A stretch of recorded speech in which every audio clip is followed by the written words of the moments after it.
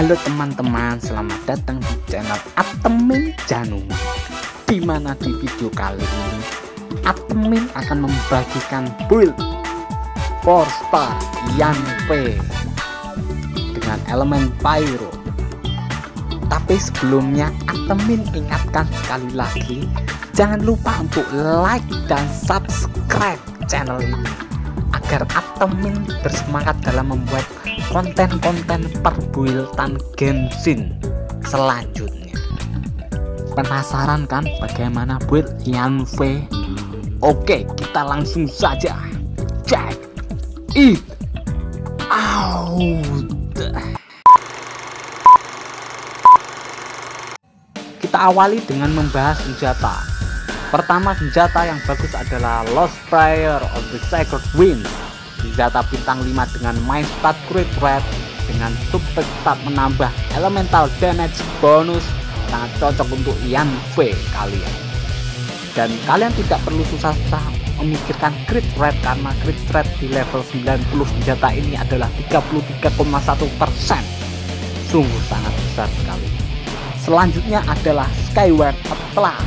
Senjata bintang 5 dengan my stat attack persen ini juga sangat bagus untuk Ian V kurang lebih senjata dengan stat attack persen ataupun crit itu sangat bagus bagian contohnya memory of dust senjata bintang 5 main stat attack persen tapi kalian harus bawa skill agar memaksimalkan potensi memory of dust ataupun kalian juga bisa memakai senjata Kagura Verity milik Yae Miko.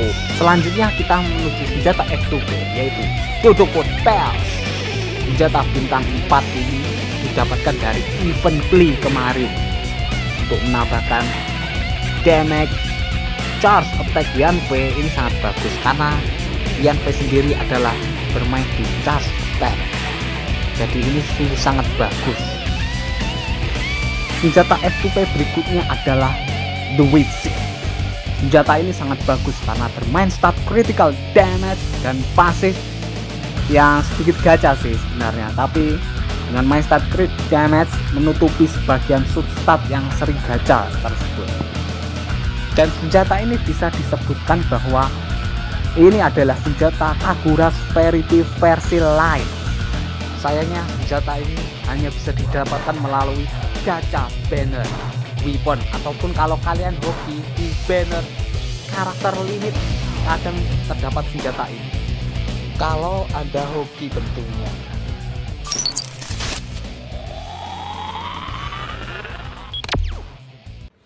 selanjutnya tentang artefak. Artefak yang paling cocok untuk Yanfei adalah 4 set Water Troop.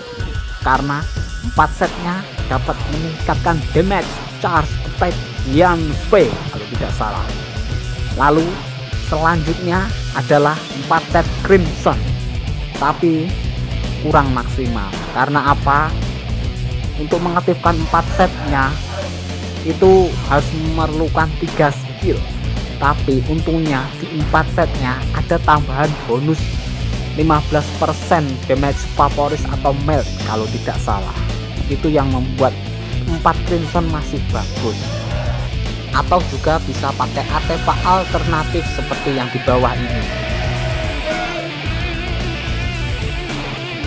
dan untuk konstelasi minimal kalian mempunyai konstelasi satu yaitu di mana setiap scarlet skill yang terkumpul akan mengurangi konsumsi stamina sebanyak 10% saat Yanfei menggunakan charge attack-nya.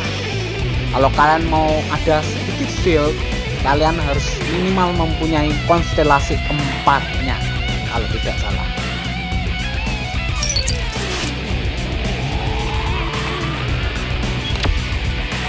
Dan untuk priority talentanya yang kalian naikkan terlebih dahulu adalah normal attack Yanfei karena agar charge attacknya sakit normal attack harus tinggi selanjutnya elemental burst karena elemental burst akan menaikkan damage dari charge attack.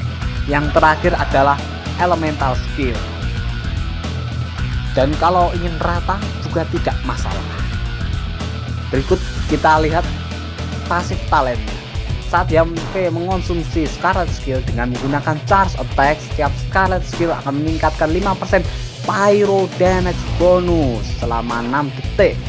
Dan untuk satunya, saat Charge Attack Yanfei meningkatkan crit pada musuh, Yanfei akan mengakibatkan Pyro Damage area sebesar 80% attack.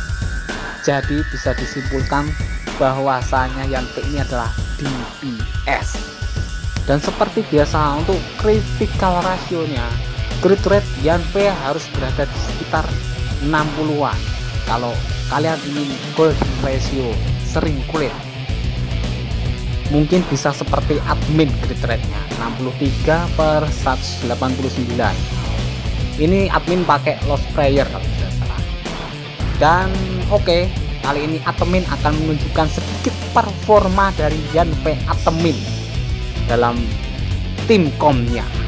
Penasaran kan? Oke, kita tes. Let's go!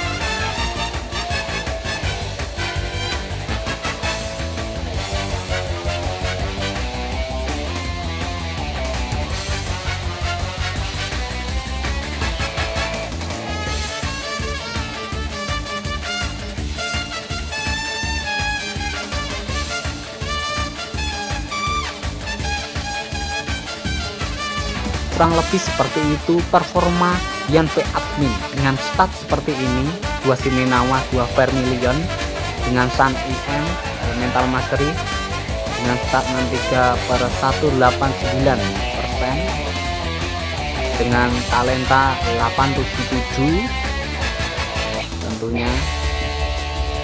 Mungkin sampai di sini dulu video dari admin Janua.